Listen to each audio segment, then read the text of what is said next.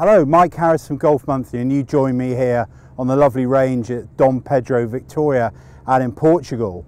Uh, a little video today about the essential things you need to have in your golf bag. Well, of course, you need 14 golf clubs. No more, of course. You can have fewer, but no more than 14. But what are the things you really need to help you get round uh, around a golf on the golf course? Well, let's go through the pockets. Front pocket, uh, I've got my gloves. So new glove ready to go. Always nice to put a new glove on if you're playing a medal or something like that.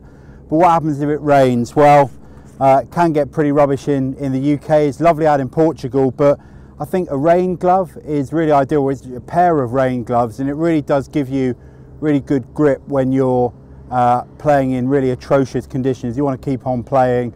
I think a rain grip glove is absolutely essential. I also carry in my bag a selection of older gloves keep it in a little uh, Ziploc freezer bag there. Uh, and they're gloves that I sort of practice with. We don't always want to use a new glove to practice with.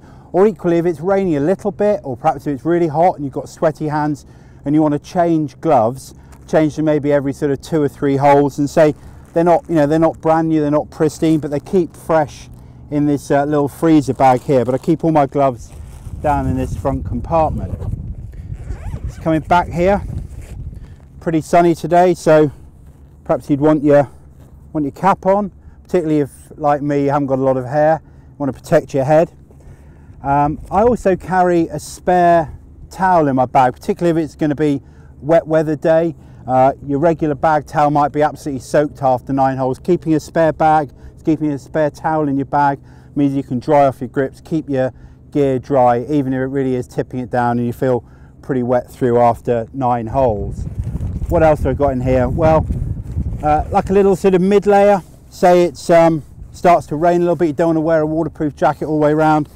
Little mid layer that just sort of folds down in your bag, I think is really, really good to keep in the changeable weather. Uh, of course, if it's raining, the bag hood there, be able to put over, keep your clubs dry. Moving around into the back pocket rules of golf. Really, every golfer needs to know the rules. We don't always know all of them, but it's if you come across an unusual situation that you've either you find yourself in or your playing partner finds yourself in, rather than not knowing, just by having the rules of golf, you're able to refer to them, hopefully find the right decision or right scenario and be able to play on. Um, sun cream, again, really, really important. Play golf uh, in the summer in the UK, it does get hot uh, really, really high levels of uh, radiation. So sun cream factor 30, slop it on. I really like this one. It's a sort of spray, so you don't have to um, get cream all over your hands. And certainly if you are wiping in cream when you've uh, sprayed it on, try and use your glove hand. Again, it stops your grips from getting all gunky. Um, sunglasses perhaps if it's, uh, if it's really sunny. Uh, and then in my tote bag here, I like a little tote bag, keep all your sort of bits and bobs in. This one's from Golf Nacional Ryder Cup venue. What have we got in here?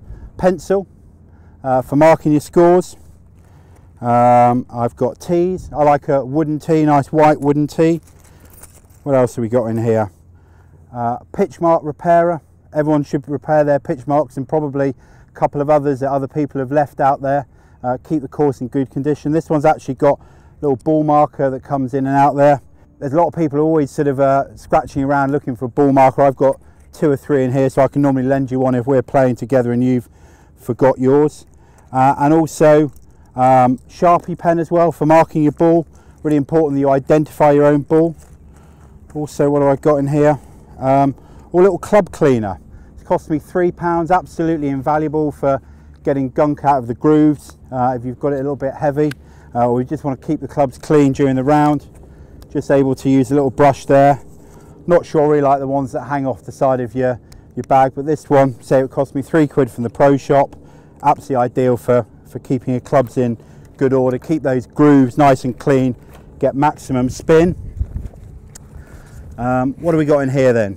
Golf balls uh, obviously you're going to need a, a, supply of golf balls during the round um, Mine are Titleist Pro V1X's with a special play number of 85 signifies the last time my football club, Everton, uh, were doing quite well a few years ago. And I put a little blue dot on it there again, just to make sure I can identify my ball. If I've hit it into the rough, searching around for it, I know what ball I'm playing. My opponents know what ball I'm playing.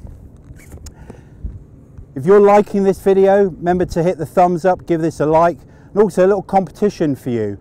So my special play number is 85. I'm going to ask our friends at Titleist to make up a dozen of a special play number for the winner. So tell us what would be your special play number. It can be anything uh, from 1 to 99. Let us know, comment below.